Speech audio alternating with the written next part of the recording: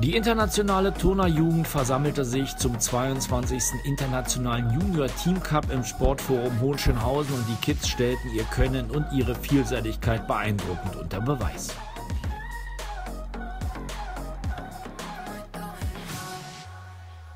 Also das Besondere an diesem Turnier ist, dass wir äh, weltweit hier vertreten sind. 18 Nationen, zwei Top-Nationen sind dabei, die USA und Russland. Das zeigt die Bedeutung. Sie kommen zu uns. Es ist eins der größten äh, Nachwuchscups äh, in Europa.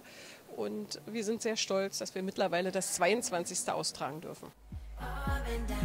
Keine Zeit zum Abhängen, denn der Turnnachwuchs musste in sechs unterschiedlichen Disziplinen ran und die Junioren lieferten unter anderem an Ringen, Reck und Pauschenpferd eine waghalsige Show ab. Da konnte sich im Eifer des Gefechts auch mal der ein oder andere Wackler einschleichen.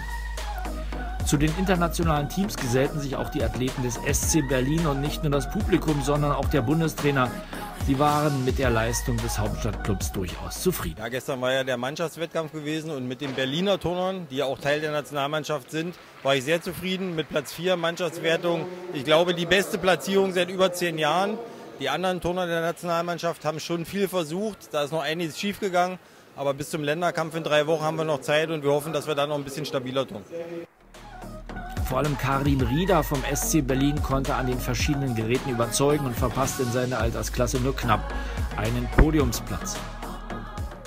Also für mich war der Wettkampf super. Im Mehrkampf wurde ich Vierter und es kam überraschend, aber ja, sehr zufrieden. Jetzt im Finale auch am Boden Vierter. Da wäre vielleicht noch ein bisschen was gegangen, aber war, war okay, bin zufrieden mit meiner Leistung. Die Teamwertung gewann wenig überraschend Russland und auch die übrige internationale Konkurrenz fand Gefallen an dem Wettkampf in der Bundeshauptstadt. Mir hat dieser Wettkampf in Berlin wirklich Spaß bereitet, weil so viele Leute aus den unterschiedlichsten Ländern hier in dieser Stadt zusammenkommen, die so vor Geschichte strotzt. Dieses Gefühl ist einfach allgegenwärtig. Und bei aller sportlicher Anstrengung blieb trotzdem noch Zeit für eine Sightseeing-Tour Uh,